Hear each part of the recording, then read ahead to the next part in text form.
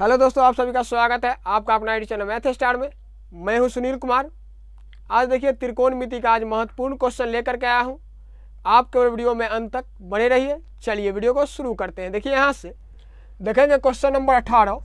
देखिए यहाँ से क्वेश्चन नंबर अठारह में दिया गया है, यदि कॉट नौ डिग्री इंटू कॉट सत्ताईस डिग्री इंटू कॉट तिरसठ डिग्री इंटू कॉट इक्यासी डिग्री का सरलतम मान है। देखिए यहाँ से सबसे सिंपल क्या करेंगे? इसको लिखेंगे। देखिए यहाँ से नाइन डिग्री वाला को और क्या करेंगे? एट्टी वन डिग्री वाला को। दोनों क्या करेंगे? एक साथ करेंगे। तो कितना पुर जाएगा? नाइन्टी डिग्री पुर जाएगा। देखिए यहाँ से। तो क्या करेंगे? इसको लिखेंगे सबसे simple. Cot nine degree into क्या करेंगे? लिखेंगे कॉट एट्टी वन डिग्री। फिर देखिए यहाँ से क्या करेंगे? लिखेंगे इसको और दोनों को क्या करेंगे? एक साथ लिखेंगे। देखिए यहाँ से क्या लिखेंगे? Cot twenty seven degree into क्या करेंगे लिखेंगे कॉट सिक्सटी थ्री डिग्री। देखिए यहाँ से क्या करेंगे इसको हम ए, दोनों में से क्या करेंगे एक को चेंज करेंगे। देखिए यहाँ से इसको लिखेंगे कॉट नाइन डिग्री इंटू क्या करेंगे देखिए इसको लिखेंगे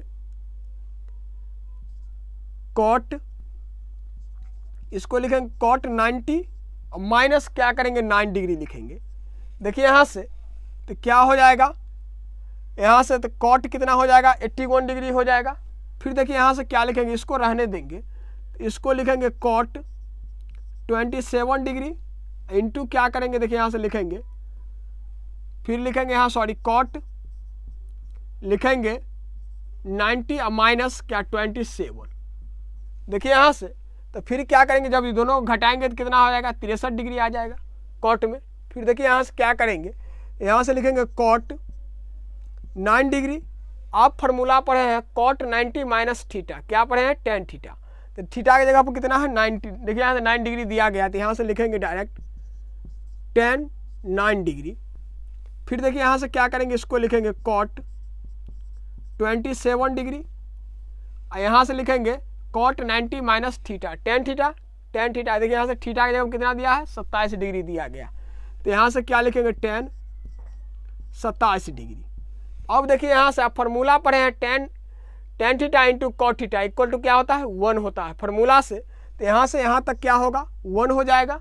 फिर देखिए यहाँ से इसके बीच में कुछ नहीं तो क्या है? गुना फिर यहाँ से यहाँ तक क्या होगा? वन होगा। तो एक गुना एक बराबर कितना होगा? एक होगा। देखिए यहाँ से तो एक किस ऑप्शन में दिया गया है? तो ऑप्शन नंबर देखिए यहाँ से बी में दिया गया है। इसीलिए ऑप्शन बी इसका क्या होगा? सही जवाब होगा।